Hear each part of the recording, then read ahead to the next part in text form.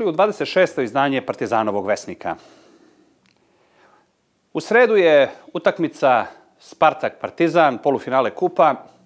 Opet imamo to neko preklapanje Partizanovih utakmica sa terminom Partizanovog vesnika, tako da ćemo ovoga puta ponovo u vanrednom terminu utorkom imati ovaj Partizanov vesnik. Pripremili smo za vas zaista zanimljive priče koje se tiču iz 151. večitog derbija kao glavne teme ovog Partizanovog vesnika – ali i nekih malo istorijskih e, paralela koje su vrlo zanimljive i koje će vam sasvim sigurno biti zanimljive da ih vidite na ovaj način.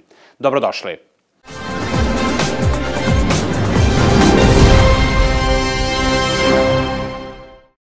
Sada je vreme za redovni komentar u sklopu Partizanovog vesnika. Skupština je zakazana za 24. maj. Baviti se sad nekom skupštinom koja je kao 27. aprila ni delegati Skupštine nisu dobili pozive, ne zna se ko je saziva, ne zna se ko uopšte će na tome da učestvuje, zaista mislim da je to potpuno bespredmetno, tako da se Skupštinama, nadam se, nećemo baviti do, do u naredna dva, tri izdanja Partizanovog vesnika.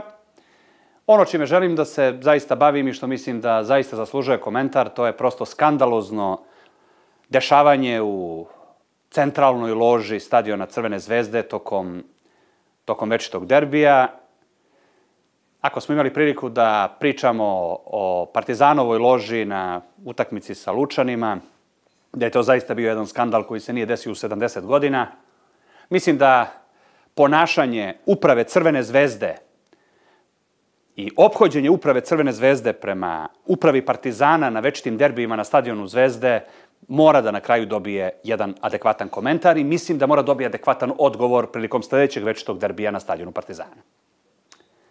Ja sam na stadionu Zvezde bio više puta. U toj loži na derbiju prvi put sam bio Dragan Đajić je tada postao predsednik te neke radne grupe, to je sam njegov početak, posle je postao predsednik, ali kad je postao predsednik, pa me on pozvao da dođem. Bio sam u toj loži, Dragan Đajić se zove, on sedi tu i ja sam tu sedeo negde u istoj loži gde su takođe bili predstavnici tadašnje uprave Partizana. Nije bio Đurić tu, bio je Mile Jovičić i tako dalje. To je onaj derbi u kome je Partizan izgubio 3-2, vodio 1-0, 1-1, pa autogol, pa onda u drugom polovremenu Zvezda dala dva gola i pobedila. Tada sam se prosto zaprepastio da u toj loži Dragan Đajić, u kojoj sedi Dragan Đajić, pazite, i u kojoj u prvom redu sede predstavnici tadašnje uprave Partizana, praktično svi ostali koji su u toj loži sedeli bili su navijači koji su bili neka vrsta navijača sa severa kojima je dato da sede u centralnoj loži. Ljudi koji skaču, koji pevaju, Indija, Pakistan, Znači, nađete se u nekoj situaciji, ne znam, sedi Dragan Đajić tu, sedi ovaj, ja sedim pored njega, ispred mene stoji neki dečko od 20 godina koji peva pesmu Indija, Pakistan, meni ispred lica i tako dalje, sedi ispred mene. Prosto nezamislivo. Bio sam na još jednom derbiju, ono 0-0 kad je bilo za titulu prošle sezone i tako dalje, kad su bili oni neredi i tome slično, da sam prosto bio zaprepašćen činjenicom da ovi ljudi sa zapada dole praktično mogu mogu da ubiju predstavnike Partizana u loži, niko to ne bi mogao da zaustavi. Znači, prosto vređanje, pljuvanje, uvrede i tome slično, znači potpuno rutinski, znači ne samo da je u loži su navijači, nego ih imate i dole, znači nemate normalnu publiku koja je na zapadu, znate ono, porodice sa decom i tako dalje, nego neku vrstu severa koji je izmešten na centar zapada, znači prosto drugi put. Na ovom derbiju 3-1 koji je Partizan izgubio, ja sticajem okolnosti nisam bio. Kažu mi ljudi da je u loži su bili, da kažemo, ljudi koji su sve vreme najstrašnije vređali upravu Partizana. Da su ušli od ozgo sa vrha te lože, praktično celo trajanje utakmice vređali, vređali upravu Partizana. I na kraju smo bili na ovom derbiju ovde, koji je bio zaista ovako čudesan na, na, na mnogo načina. I mislim da to na kraju na neki način mora da se prokomentariše. Ne znam da li ste zaboravili onu situaciju kada se Srbija plasirala na svetsko prvenstvo, mislim, 2010. godine u Južnoj Africi. Kad je pobeđena ovde, valjda, Rumunija 5-0 ili tako nešto. To je bila, bila ta situacija. I Srbija prvi put kao nezavisna država otišla na svetsko prvenstvo.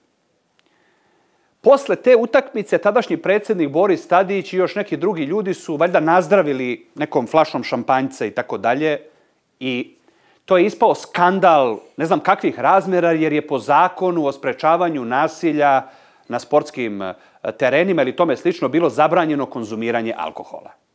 Pa je predsednik bio uhvaćen u tome da eto on pije šampanjac i nazdravlja, a to je kao zabranjeno. 2016. godine u centralnoj loži stadiona Crvene zvezde, pored uprave Partizana, pored bivših e, legendi Crvene zvezde i Partizana koji su bili tu, bio je jedan neverovatan broj ljudi koji su bili tako zverski pijani da je to prosto neverovatno. Ljudi koji su na, nakon utakmice počeli da padaju koliko su bili pijani.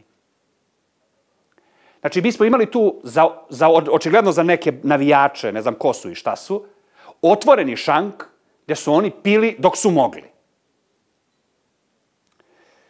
Odnos uprave Crvene zvezde prema Partizanu je prosto bio skandalozan. Već drugi, treći put, znači, dolazi uprava Partizana, niko iz uprave Zvezde ne dolazi da ih dočeka. Uprava se smestila, seli smo tamo i tako dalje. Dolaze vođe navijača Zvezde da kao kažu, evo mi vam garantujemo bezbednost, nemoj da se bojite i tome slično. Niko iz uprave Zvezde ne dolazi. Počinju ti neredi na istoku, stalno, mislim, stvarno, može da, ako može se nađe neko rešenje, stvarno, ja, ja sam neko ko je na istoku sa ocem odlazi od pete svoje godine i uopšte mi nije svejedno da gledam scene u kojima, kojima ljudi sa decom beže od nekih navijača koji se stalno tuku na istoku. Ali, eto, krenulo je to krajem prvog poluvremena. Navijači od ozdo, sa zapada, počinju da pljuju, da vređaju i tome slično. Tu je Marko Pantelić, zaista ovako pohvalim, izašao i stao u zaštitu, počeli su Ilijeva da prozivaju, da, da vređaju i tako dalje. Znači, prosto, Marko Pantelić je tu krajem prvog polovremena intervenisao i to je prestalo. Međutim, drugo polovreme i sredinom drugog polovremena u loži do nas, znači, počinje očigledno alkohol da radi ili šta već, i pojavio se čovek koji 20 minuta u kontinuitetu urla i najstrašnije vređa Ivicu Ilijeva. Mislim, prosto svi se zgledaju. Ljudi su počeli na kraju da napuštaju tu ložu. Znači, nekoliko ljudi je tu ložno, nisu mogli više to da slušaju. Znači, čovek 20 minuta poslednjih utakmice i lijev, džubre, i lijevo, ali, ali sve snage. Najstrašnije psovke, najstrašnije uvrede. Niko ništa ne reaguje.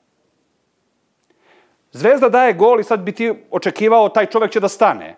Znači, ajde, poveli su, pobedili su, slave, titulu i tako dalje. Ne, još gore. I na kraju, u jednom totalnom, znači, jedan grozan derbi, igra Partizana onako prosto depresivna, eh, svi u nekom bedaku, i na kraju Partizan daje gol. I nije tu sad bilo neke eksplozije, niti smo se mi sad tu nešto, Bog zna kako, radovali. Prosto, svi su bili, blago rečeno, smoreni tom celom utakmicom i tako, gotovo niko se više nije ni nado da će biti išta. Prosto, svi su bili više šokirani nego što su, što su nešto glasno se radovali. Kreću navijači, hoće da upadnu u ložu, da, da biju upravu Partizana. Mrtvi pijani. Mrtvi pijani. I da Sticajem srećnih okolnosti, uprava Partizana, zbog problema koje su imali sa, na utakmici sa Lučanima, zbog ovih problema unutrašnjih Partizanovih, sa sobom nisu poveli neko obezbeđenje, koje, ja mogu da budem svedok, uopšte nisu vodili, recimo, na onoj utakmici 0-0. Nikakvog obezbeđenja nije bilo sa njima. Ti ljudi, mrtvi pijani, bi upali, polomili Ivicu Ilijeva, polomili profesora Vuletića, sve ko, koji su im sumljivi, bio je tu i Gordan Petrić u toj loži i tako dalje. Sve koji mi mirišu na Partizan, oni bi prebili. Oni su hteli da uđu, da kad su primili gol, oni su na, nagrnuli da upadnu u ložu, da biju svakoga ko ima veze s Partizanom. I da Partizanova uprava sticajem srećih okolnosti nije povela sa sobom obezbeđenje. Ne zbog problema koje su očekivali sa zvezdinim navijačima, nego zbog problema sa navijačima Partizana. Mi bi imali verovatno prvi put u istoriji derbija situaciju da neka uprava u centralnoj loži stadiona bude prebijena od pijanih navijača koji, koji su u samoj loži, ne ljudi sa zapada, nego ljudi koji sede u samoj loži. Čovek pored nas u loži skida gaće, skida pantalone, pokazuje kao Miša Tumbas. Razumete, ali Miša Tumbas je uh, na terenu čovek od, o, otrgne se pa napravi tako nešto. Ovaj čovek sedi s nama u centralnoj loži. To je nezamislivo. I onda na kraju apsolutni skandal, nikakve policije nema, nikakve žandarmerije nema, mi hoćemo da napustimo stadion, da izađemo odatle i malte ne, na nivou neke paravojske kaže, ne, ne, ne, vi ne izlazite, vi ostajete tu.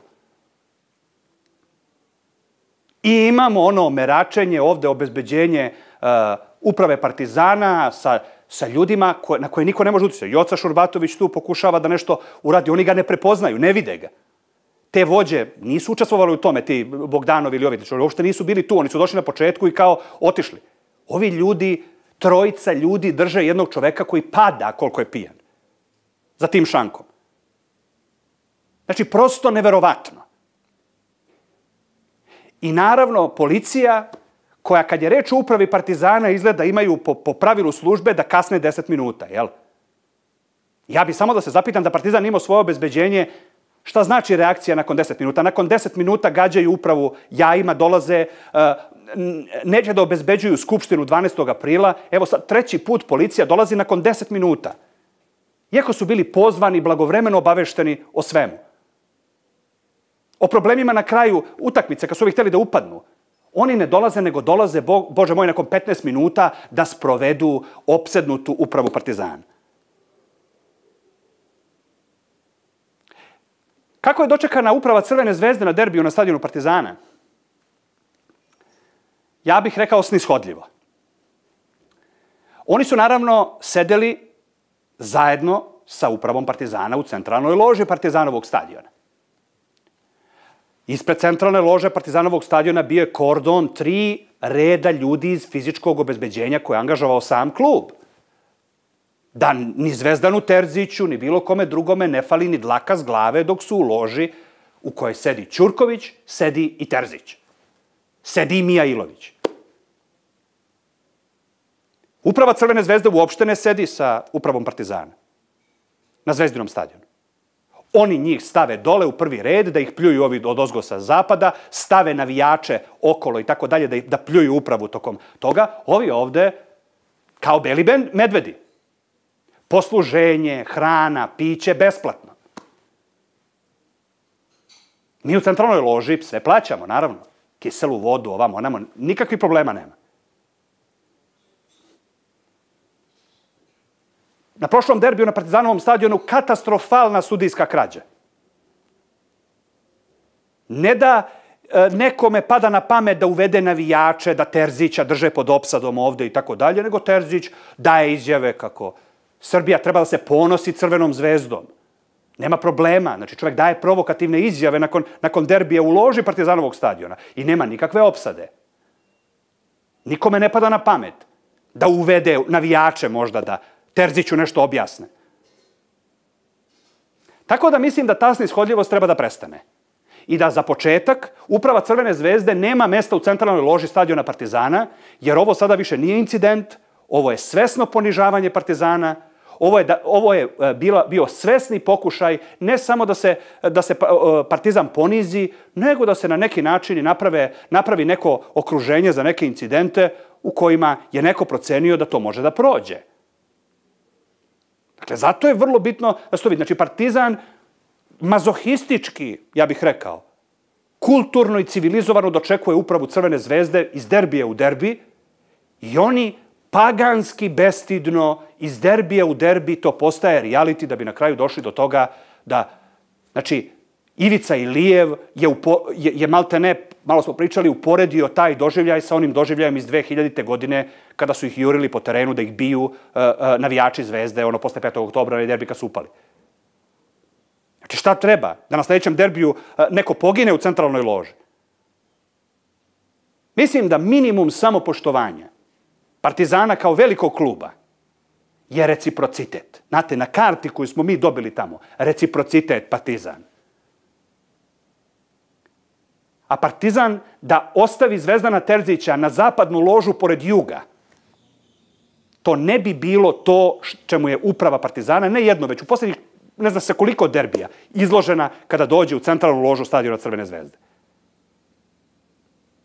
I njih dočekuje uprava Partizana, ma kako bili, znači, kogod da bio deo te uprave, uvek su dočekivani civilizovano, oni vraćaju, kako?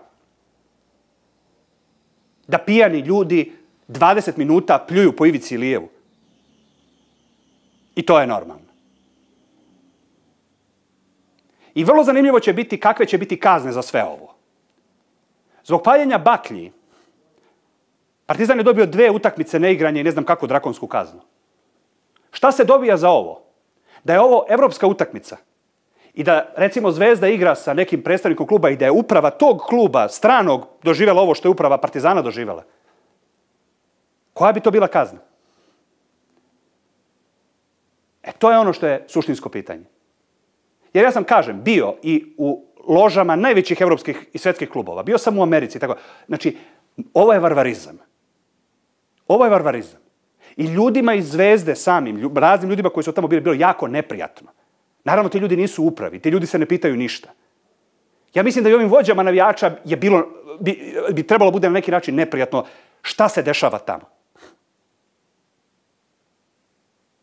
Ali ovo, ja mislim, ako nakon ovoga neke, neki koraci ne budu preduzeti, ja mislim da, da će biti velikog skandala. I da Partizan mazohistički, ako nastavi ovako da, da, da ignoriše ove provokacije, na sledećoj nekoj utakmici mi ćemo imati žrtve u centralnoj loži Zvezdinog stadiona. A kad se to desi, onda nemoj da bude da nije neko upozoren i da se to desilo slučajno. Jer u ovome što se desilo sada, ništa nije bilo slučajno. I to je to.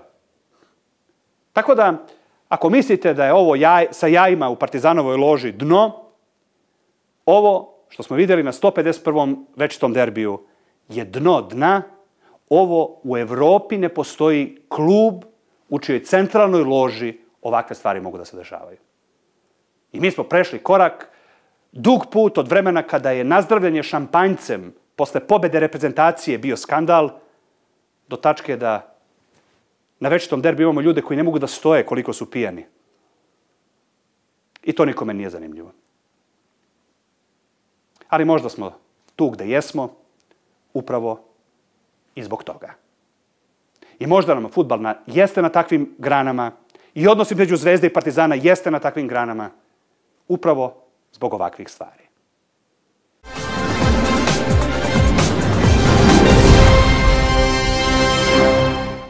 Jedna od zanimljivijih stvari vezanih za 151. večiti derbi jeste prosto nestvarni gol koji je postigao Everton Luiz. Verovali ili ne, ako pogledamo istoriju večitih derbija, golovi sa te daljine, 35 metara plus i tako dalje, prava su redkost. Crvena zvezda valjda imala jedan gol koji je poništen. Piksi Stojković negde 80. godina je na jednom derbiju dao taj gol a, koji je bio poništen zbog nekakvog ofsajda e, i tako dalje. A mislim da ćemo ovako kao istorijska redkost biti zanimljiva priča o jedinom golu koji liči na ovo što Everton Luis dao.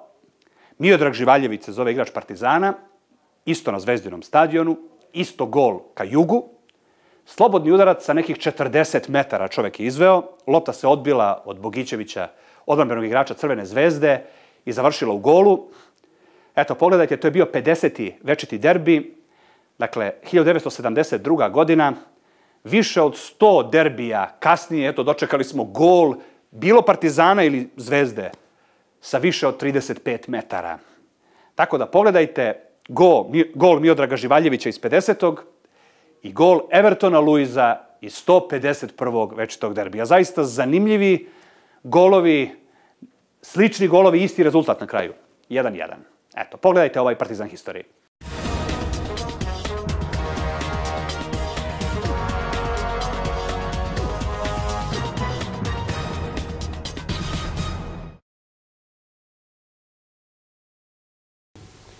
Kada su u pitanju večiti derbi, Detalje iz 22. minuta, udarac sa 40 metara uputio je Živaljević, lopta je pogodila Vladislava Bogićevića, popularnog Blekija i završila iza leđa golmana Crvene zvezde Dujkovića. Dakle, 1 prema 0 za Partizan, voćstvo na gostujućem terenu, još, jedan, još jednom ovaj pogodak Živaljevića.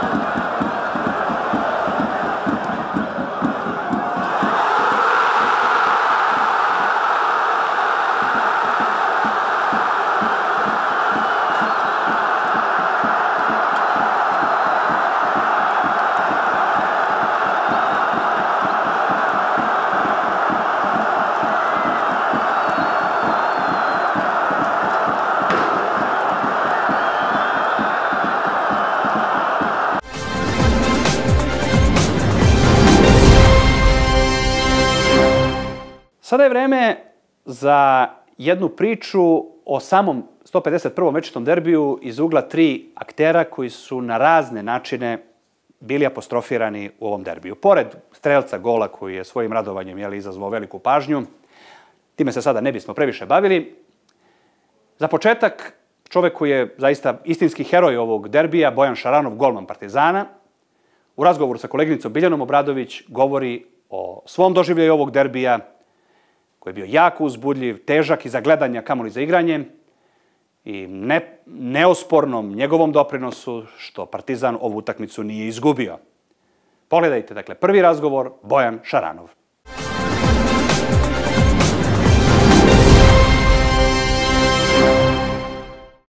FK Partizan će za sedam dana odigrati tri utakmice. Završeni 151. večeti derbi, potom nas očekuje druga utakmica polufinala Kupa Srbije, a potom u subotu utakmica protiv ekipe Čukaričkog. Na moje veliko zadovoljstvo, sagovornik za Partizanov vesnik je čuvar mreže FK Partizan Bojan Šaranov. Sa Bojanom smo naravno razgovarali pre 151. večetog derbija, ali sada mi je veliko zadovoljstvo da ponovo možemo razgovarati upravo o tom derbiju, budući da, kako su i sami mediji rekli, bio si jedan od najboljih igrača, ne mogu kažem na terenu, ali naravno kao čuvar mreže Partizana. Evo nekoliko dana posle večetog derbija, kakve su sada emocije u tebi? Pa e, još uvek onako e, koliko god je prošlo to par dana, još uvek je sve onako sveže, iskreno. E, pogotovo posle, posle takve utakmice, ono, derbije i verovatno ćeš, to su utakmice koje ćeš pamtiti ceo život i uvijek će ti biti onako blizu to negde, nikad ih nećeš zaboraviti a, bukvalno sve momente ovaj, sa, sa, sa, sa utakmice, ali a, nemamo vremena nešto puno ni da, ni da razmišljamo o tome. A, sad, sad previše, naravno, uvijek će ostati u jednom delu glave, da tako kažemo, ali već eto, sutra, da, sutra imamo, imamo jednu, možda i najbitnu utakmicu u sezoni, pa, pa probam da, da i ne razmišljam puno o, o, o tome. Zaista si sjajno branio. Ko je po tvom mišljenju da je bila nekako najteža odbrana tokom 151. večetog derbija? Pa prvo hvala. A, drugo, pa svaka intervencija onako na derbiju ima, nosi svoju težinu. Iskreno onako, pa i neka ta najlakša lopta koja izgleda onako lagano, ovaj, a, ima posebnu težinu jer je, jer je, jer je derbi velika odgovornost i koncentracija mora da bude na, na, na, na maksimalnom nivou. Uh, možda onako kad sam analizirao možda mola, možda taj prvi šut, šut na utakmici onako i prvi šut i malo specifična situacija možda mislim da je šutno Kata i hoće neće hteo da centira hoće neće ni on je onako šutno ne znam ni on ja mislim šta je hteo tako neki faktor iznenađenja ali eto na, na moju sreću i sreću nas odbranio sam. U trenutku kada je večiti rival poveo sa 1-0 bez obzira na tvoje odbrane pre toga, kako si se osjećao u tom trenutku? Pa, teško mi je bilo. Teško mi je bilo, teško mi je bilo jer, jer, jer nisam želeo da moj drugi derbi bio, nisam, nisam nikako hteo da se pomerim s tim, da, da izgubimo i, i teško mi je bilo, ali sam opet uh, m, hteo da pokažem prvo, prvo sa igračima mojim onako da, da, da, da ne gubi niko veru od nas do, do kraja utamice, da se utamica igra do, do posljednjeg minuta eto, u ovom derbiju 94. I probao sam koliko je to na meni bilo da, da, da, da, da, da i nekom pričom i nekim svojim gestikulacijama pokažem da, da, da ne odustajemo do kraja i eto Evi je dao taj e, fenomenalan gol i spasio nas na kraju.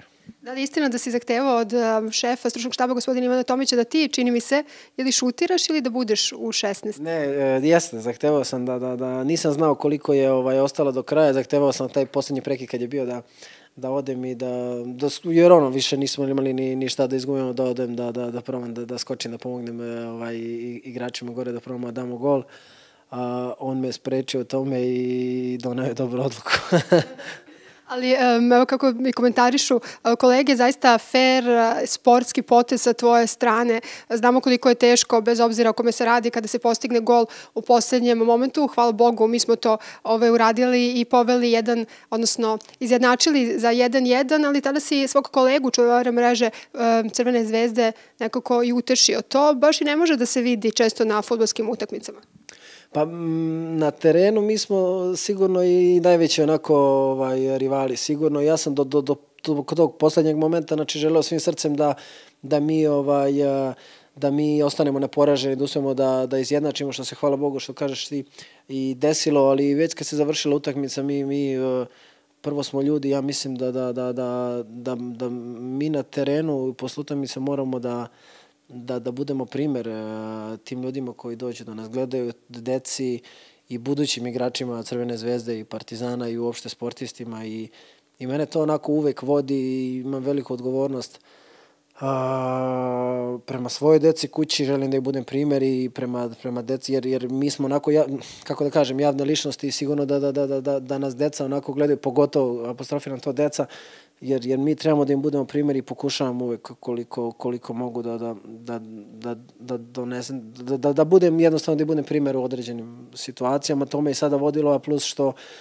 što ovaj, kah, sa Kahrijan sam i onako prijatelj van, van terena, znamo se mnogo dugo i, i, i osjećao sam potrebu da mu priđem jer mi se golman onako najbolje razumemo i niko ne može da razume njega kao, kao što golman može da ga razume i, i zbog toga sam mu i prišao. Sa golmanske strane, da li je bomba Evertona mogla da se odbrani? Pa e, sigurno da, da je mogla. Svaki šut sa, sa, sa te udaljenosti naravno da, da možeš, ali, ali ovaj, je, je, je, je lopta izuzetno še teška bila. On je, on je ovaj, šutno je, ja ne znam koliko lopta išla na sat. Bio je stvarno, stvarno, stvarno jak šut, težak šut, e, Kahri je sam svestan da dono je pogrešno možda odluku da, da je izboksao loptu, vjerojatno mi kraj utakmice bio na našu sreću, njegovu nesreću pokušaj da hvata i primio je gol. Ovo naravno ovu priču potencijamo čisto iz sportske, fair i korektne igre, upravo kao što si ti rekao, jer najvažnije je kakvi smo ljudi kada se završi utakmica, naravno najveći rivali na terenu. E, evo kao što sam rekla, najavi tri utakmice za 7 dana, koliko uopšte imaš vremena i kako da se odmoriš, obično potenciram što malo ljudi e, zna i nekako misle da sve što se dešava na televiziji živimo život i posle toga na identičan način. Vi se veoma umarate i prosto imate taj period oporoka koji zna da bude veoma težak i bon, 24 sata posle utakmice, čak i 48 sati, kada svaki mišić zna da boli čak mnogo više nego posle same završene utakmice. Pa tako je, tako je, slažem se, ovaj, slažem se sa tobom. Nekako kad izađeš na teren, nikoga ne zanima da li si igra utakmicu pre 5 sati, 10 ili ne znam, od tebe se očekuje da, da, da daš maksimum i da budeš pravi, pogotovo kad si u jednom ovakvom klubu kao što je Partizan i koji neprestano traži rezultat na, na terenu i pogotovo u današnjem sportu, ali zato imamo ovaj, našu medicinsku službu koja, koja se trudi stvarno da nam da nas da, da taj period oporavka znači da, da, da, da, da, da, da ubrza tako da kažem i da nas pripremi za za narednu utakmicu, a naravno da mi isto sa strane, to jest van terena Varspovnog centra moramo da vodimo računa o našem životu van terena, našoj ishrani i jednostavno to je, to je naš posao, to je naša obaveza i to je, to je nešto, nešto normalno danas. Kažu da je najvažnije ispavanje, s obzirom da imaš decu, da li uopšte uspevaš u tome? Pa nekada sam ovaj, išao u krevet mnogo kasnije, sada ovaj, pošto me oni onako bude, oko 8 već pola 8, 8 već su mi na glavi, ovaj, onda odem oko 11 u krevet da bi duže spao. Zahvaljujem ti se puno, naravno puno sreće sa crno-belima i u nastavku uh, utakmica. Držimo palčeve, a bio je to Bojan Šaranov, čuvar mreže FK Partizan.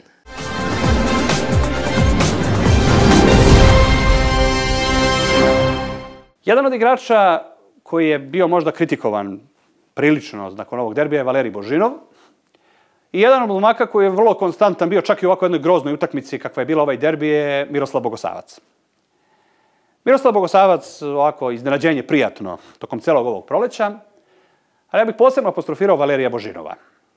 Bez golova Valerija Božinova u ovom prvenstvu Partizan bi sigurno igrao play-out.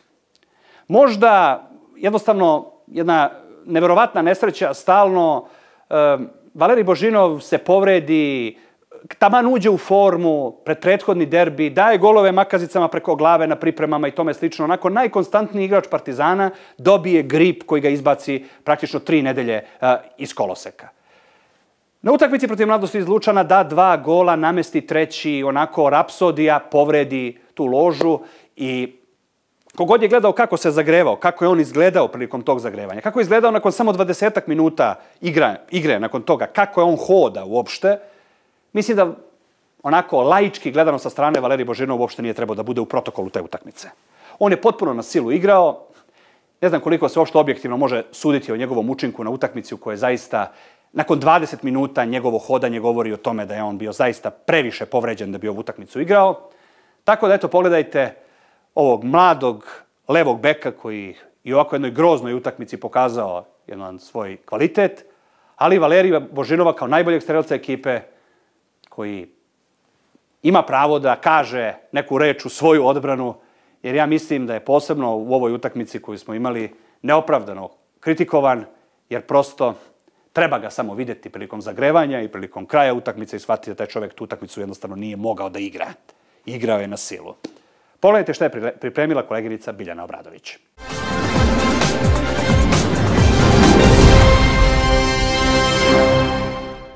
Za ovo izdanje Partizanovog vesnika posle 151. večitog derbija, pre utakmice koje nas očekuju U ovoj nedelji, kao što sam rekla, 7 dana FK Partizan igra tri utakmice. Razgovaram sa protivnicima Partizana, Valeri Božinovim, koji se nalazi s moje desne strane. Dobar dan, Valeri. Dobar dan, Biki. I Miroslav Bogosavac, poznati naravno u našim redima kao Riđi. Dobar dan. Evo, momci, očekuje nas zaista nekoliko utakmica, prosto rekla bih da pauze nema, ali hajde da malo evociramo sve ono što se dešavalo tokom 151. večitog derbija. Rezultat na kraju 1-1, bila je teška utakmica. Valeri, ti si ušao negde u nekom 72. 75. minutu. Da, ja sam bio stvarno, od početak sam bio na kupi, ali gledao sam, vidio sam, analizirao sam utakmice kad sam bio na kupi. Bilo je vreme teško i utakmice je bio teško i za nas nismo mogli da da, damo, da igramo kako to nismo želi, kako smo igrali na, na 1 u drugo derbi, ali kako je kako Zvezdan je dao gol, bio 1-0, posle na kraju finala da je 1-1, nismo zadovoljni za to, bio ok.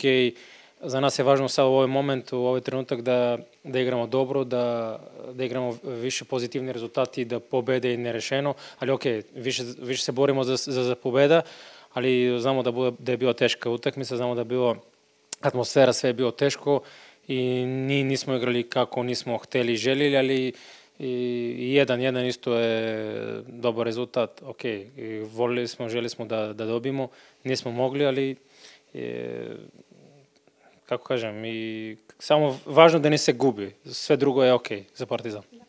Kako si se ti osjećao uh, tokom derbija, pošto znamo da prethodnih dana nisi trenirao, radio si individualno kod Andre Milutinovića, kakva je prosto tvoja fizička snaga bila u tom trenutku? Uh, prvo, volim i želim da zahvalim Andre za, za kako me je spremao, kako me je pomognuo. Da nije bio Andre, nije, nisam bi mogao i da, i da ulazim ove 15 minuta. Da, nisam trenirao, bio sam na, kod Andre da, da radim vežbe, da se, da se, da se opravim. Bio me malo teško, znamo da moje kako situacija da nije uopšte nisam trebao ni da igram i da da bio da odmoramo totalno, ali hvala na, na Andre kako on sprema igrači, ne samo mene, i svi koji su otišli pre toga sa, sa se vratili za manje vreme i su igrali, su svi bili spremni. I sad, se, sad sam ok, spremam se za kup za utakmicu i za drugi, za drugi utakmice play-off koji su ne ostanali i hvala Bogu zato što je i Andre dao maksimuma od sebe i, i ovaj, ovaj problem koji sam imao sam se vratio za manje, manje vreme. Evo, sada je 14 časova i 18 minuta, trening počinje u 15 časova. Pre ovog intervjua Miroslav ja smo te tražili, rekli su nam da si u teretani, radio si individualno. A, da, ok, ali da, ja ujutro sam bio kod Andre.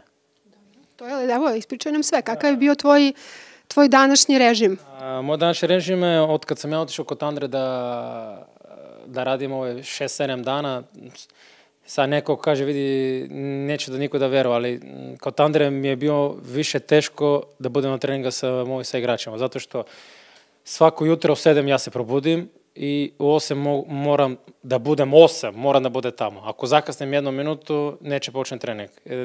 Мораш да си кот Андре, да имаш кон има принципи, мораш да си 8-8 и све. Од 8 8 сам таму до 1 тренирам, после дојдам дојдам да идем да доручам.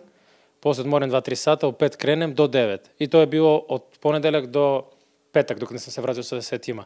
I svaki dan je to je bilo. Trenirao sam, radio sam zato što sam hteo i sam volio da budem spreman za derbi, a ne samo za derbi, da se vratim da budem spreman uh, kao snage, da imam uh, da imam sile power za, da mogu da igramo uh, ove playoff utakmice i da i moje želje vole da dobijemo kupu i da igramo final i da do, osvojimo kupu.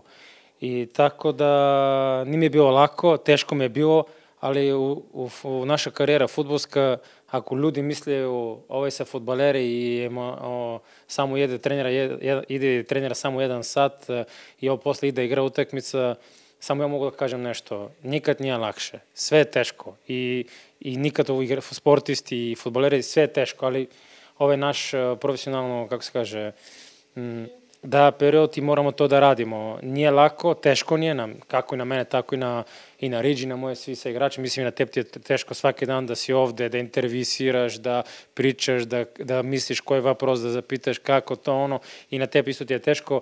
Nema lekše u životu, ali moramo, mora da se trudimo, mora da radimo i mora da smo spremni, zato što ti znaš bolje od kad si u Partizan, mora da si eh, da ti je sve perfekt, perfektno, i da, i da si primer za, za, za svi koji gledaju Partizan na TV. Ali, evo, pre nego što si ovo rekao, rekao si da si jutros, dakle danas ekipa odlazi uh, u Suboticu, jutro si bio kod Andre, ali tako? Da, jutro sam bio kod Andre, u, u 8 sam bio kod njega, do premalo, do pola jedan sam bio kod Andre, i smo radili vežbe, spremao sam zato što želim i volim da sam, da sam spreman za, za kup polufinala i daj Bože da odigramo na perfektnu utakmicu, da dobijemo i da idemo na final, zato što ja sam to rekao, u moja karijera igrao sam u velike klubova, ali nikad nisam osvojio neke titula. I mislim da i sad s Partizan, daj Bože da imam to šansu, da imam to sreću da prvo na 30 godina da, da dobijem prvu, prvu trofeju u moju karijeru. А, за, за жалост, да јас сам играл, неки луѓе каже како он играл тамо, тамо и тамо, али не се уникат. Али окей, дешало се тоа, али а, боле да една, да еден, да еден, како се каже, да еден трофеј, али да е са, са партизан.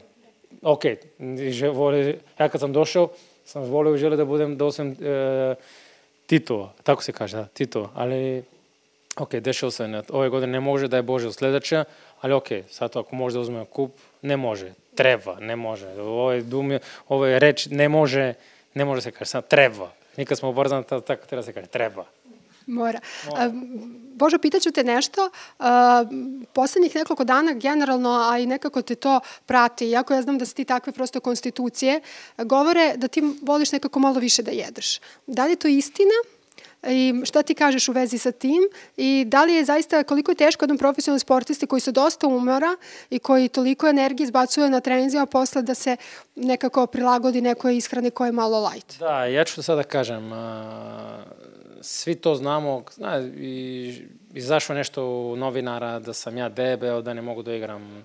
Ako ja sam debeo i ne mogu da igram, teško je bilo neki da da 15 gol do sada i ja ću, mislim, još da dam još 5, 6, ne znam koliko, da, igram, da dam 20 komada.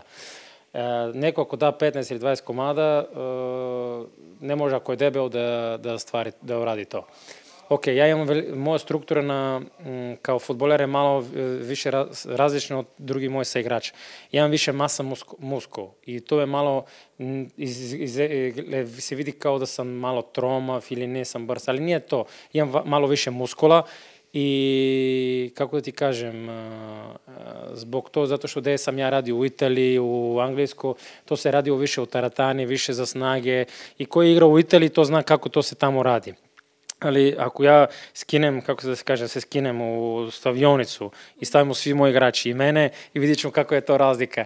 A, ok, nema, nemam ništa protiv to, ali moja struktura je takva. Malo sam nabit, imam više muskula i mišić i moje noge su takve i zbog to može da to malo liči. Ali uh, za kilaža uh, sad da li moraš da smrčeš i da li si... Ja se osjećam ok, dobro mi je, osjećam dobro, trčim, trudim se, dam sve od sebe, uh, to što je izašao novina, novinaran to, ok, mene u jedno no, u oši ulazi, u drugo izađe, ja sam profesionalac kad on neki treba da igra, da da 100% igra, da golove, se trudi i pokaže da može da igra Partizan, ja hoću da pričam na teren.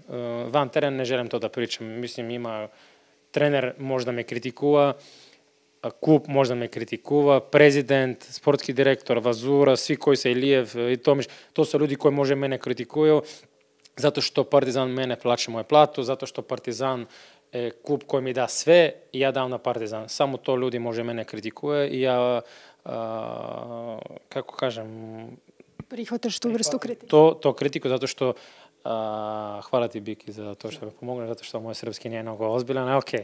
I... Mogu li ja da te kritikujem? Može. Ne, ne, to svi kažemo, Partizan, koji je radio Partizan, isto je navijače, isto koji smo Partizan, sve što znači Partizan možda kritikuje mene zato što a, a, zato što to kup mene plaćaju, zato što kup mene, kad sam ja potpisao ugovor, ima neki pravila i to je to. A, sve drugo što se priča, šta se kaže, Ja, okay, imam veliki respekt od svi, ali samo jedni, jedni čovek, jedan čovek ili samo Partizan može mene kritikuje, da kaže nisi, nismo zadovoljni od to, to, to, to, ili tako, tako, tako, ali mm, ja sam profesionalac, uh, mislim i Rigi to zna, svi to znaju, ja sam primer za svi ovde i mladi igrača, mračima, moj odnos, moje kako, ok, dopustimo neke greške u život, nisam ja uh, prvi da kažem, ja sam prvi čovjek koji da kažem nema, nema perfektni ljudi.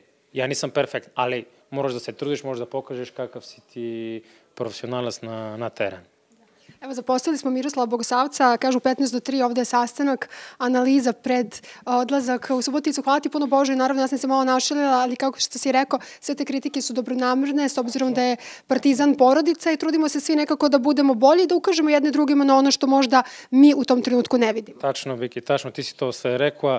Sve kritike sa bole za mene i za partizan da budemo bolje ja, bolje bude partizan i Riđi, i ti, i ekipa, i svi da budemo ovo. To se kritikuje, ja prihvatim, ali to sam to rekao. Samo Tomić može da kritikува, Ivica ili Vazura, prezident i ok, svi koji su, može i moj, i sa igračima u mene kritikuje zato što ni se trudimo, se borimo za, i kad zagubimo i kad dobimo, nismo jedno i normalno neki put da ima neki put da nisu zadovoljni, neki put su zadovoljni, ali ok, ja prihvatim te kritike, idemo dalje, hoću da osvojim kupu, hoću da budem najbolji strelac u naša liga i to je to. I daj Bože da osvojimo kup. Hvala ti puno, Valeri. Miroslav Bogosavac, evo što slušao si sve što je Valeri govorio. Koliko međusobno razgovarate posle utakmice, možda kada se emocije nekako kada splasnu i onda imate više vremena i nekako hladne glave analizirate ono što se dešavalo? Pa da, svakako posle utakmice uvek u autobusu kad se vraćamo analiziramo malo te stvari i naravno dan posle toga kad svi odgledamo utakmicu svakako da prijaju saveti od iskusnih igrača kao što su Boža i Sali Ilić, tako da uvek upijamo njihove savete. Se desi nekada da neke varnice krenu između igrača, što je normalno kada je futbolska utakmica, adrenalin svima skače u tom trenutku i vama koji ste na terenu, a i nama koji smo uh, iza, što se kaže, onog dela za reklame. Pa svakako, naravno da se desa nekad varnica, ali to se uvek izađe na najbolji način, se to izgleda odnosi posle utakmice. Svi znamo kako smo na terenu, svi svi smo ambiciozni ovaj, kako da kažem, impulsivni, ali posle utakmice svi se izljubimo i to je to. Evo, 151. večeti derbi je završen, rezultat 1-1. Rekao si da baš nismo najbolje otvorili utakmicu, nismo krenuli onako napadačke kako smo planirali. Pa da, nismo ušli u utakmicu najbolje kao što smo se dogovorili. Svakako na to ima utjecaj, bilo je malo teže vreme i teren. Ovaj, posle smo u početkom drugog poluvremena smo ovaj, krenuli da igramo našu igru, ali to nije bilo dovoljno kao što smo radili na prethodnim utakmicama i primili smo taj jedan gol što nas nije poljuljalo jer je trener rekao da uvek verujemo da možemo da preokrenemo. Svi su igrači u to verovali i došao je taj Evijev gol, fantastičan pogodak i, i utakmica je završena nerešeno. Naravno da nam ne odgovara, ali svakako bolje nego da smo izgubili. Mi nekako uvek moramo da sačekamo 90. minut ili istek vremena. Jojić je pre nekoliko derbija dao upravo u tom 90. onda Koja.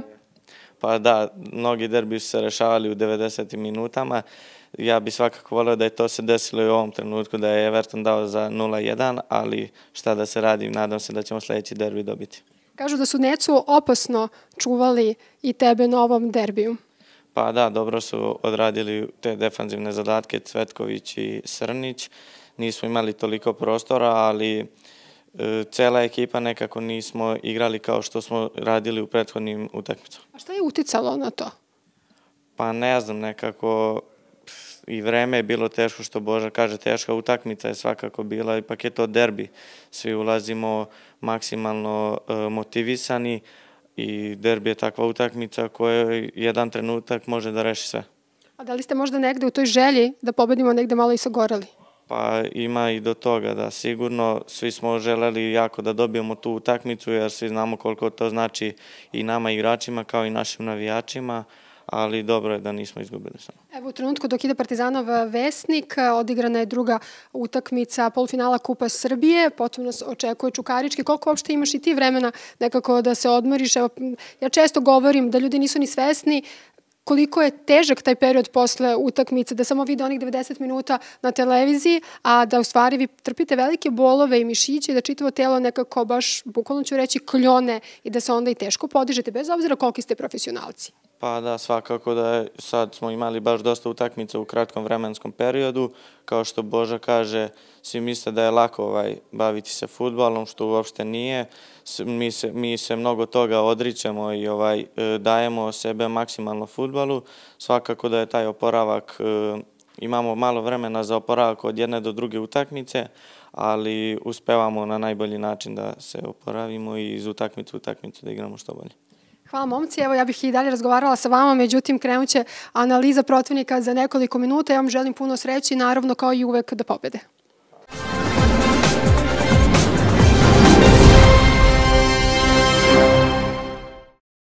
Nalazimo se pored trofeja koji je svedok istorije jugoslovenskog futbala. Trofej koji je dodeljivan šampionu Jugoslavije – koji je za razliku od trofeja Maršala Tita, kupa Maršala Tita, koji je, ja mislim, ostao u Splitu ili tako nešto, znači nikad se nije vratio. Sticajem okolnosti je ostao u Beogradu i do dana današnjeg se dodeljuje kao trofej šampiona Srbije. Od 1946. godine, kada je odigrano prvo prvenstvo, pa do ovog prvenstva koje sada traje, ovaj trofej na ovaj ili onaj način bio je simbol simbol velikog uspeha, borbe, brojnih šampionskih titula. Ako pogledate ovaj natpis, kaže prvaku Srbije u futbalu. To je onako prerađen, da kažemo, ranije to bila Jugoslavija, prvaku Jugoslavije, vidite su ta slova nova. Međutim, nešto na nivou prosto verovali ili ne. Ovaj trofej je zanimljiv istorijski spomenik, između ostalog i zbog toga, što su na njemu od 1946. godine pa do, pa do sezone 2006-2007 izgravirani svi šampioni koji su dobijali ovaj trofej. U kakvom se sunovratu našla zajednica Super lige ili kako god već mi to zvali, govori činjenica da ovaj trofej nema izgravirane šampione od sezone 2007-2008 pa do danas. Dakle, vidite, poslednji što je izgraviran, to je tada bila Crvena zvezda 2006-2007, 2007-2008, 2008-2009 i tako dalje, sve te sezone prosto ne postoje na ovom trofeju. Zašto? Profesionalno graviranje košta. Ne, plaća se po slovu. Nije uopšte, da kažemo, nije sad uh, uopšte tako jeftino. Znači, stotine hiljada dinara košta da se ovi šampioni koji su bili umeđu vremenu upišu ovde. Znači, ali je prosto smešno, zaista, da mi imamo ligu koja ne da obezbeđuje prihode klubovima, kao što bi bilo normalno, ne da ne obezbeđuje ozbiljne prihode od TV prava, nego imamo ligu koja nema para da izgravira ime šampiona lige na trofeju. Znači, to je Ne zapad. Kao kad na, na, na trofeju Lige šampiona ne bi UEFA imala para da izgravira ko je, ko je osvojio. Znači, prosto, ovaj spomenik ima upisane šampione od 1945. 46. 7. Znači, ta, ta sezona je prva. 1946. 7. Partizan, Dinamo, Partizan, Hajduk, Zvezda, Hajduk, Zvezda i tako dalje. Znači, do sezone 2006-2007. Onako, jedan trofej koji su u rukama držali svi koji su nešto značili u istoriji jugoslovenskog futbala. I možda činjenica da od 2007. godine, ne znam da li nema para, nema pameti, nema volje, ne znam čega nema, uglavnom osvojite ovaj trofej, ali neko nema vremena, para ili pameti da ugravira ko je bio šampion. Još jedan kuriozitet ovog trofeja, to su, da kažemo, iz perioda ovo Obilića i tako dalje, znači, ti cirkuski fontovi, ne znam šta su radili, prosto, to su rukama upisivali, gravirali, da su pokušavali nešto da rade. Znači, kad pogledate, na primjer, kako je upisivan Hajduk u tim nekim revenima i, i kako izgleda ovaj Obilić ovde ili tako dalje, znači, prosto to je, to je, to je, to je tragikomedija. Tako da, Ne znam ko je za to zadužen, izabran je novi predsednik zajednice Superlige ili tome slično, da li je to nadležnost Futbolskog saveza ili zajednice, zaista pojma nemam. Futbolski klub Partizan nema ovlašćenje da dira ovaj trofej, da ga on gravira. Tako da bi bilo dobro da se ovim neko pozabavi. Eto, to bi bilo dobro, jer ovaj trofej, jedan je od najvećih istorijskih svedoka istorije jugoslovenskog i srpskog futbala, i makar zbog toga zaslužuje da bude poštovan. I da na njemu stoje zaista svi timovi koji su bili šampioni i koji su ovaj trofej sa ponosom podigli.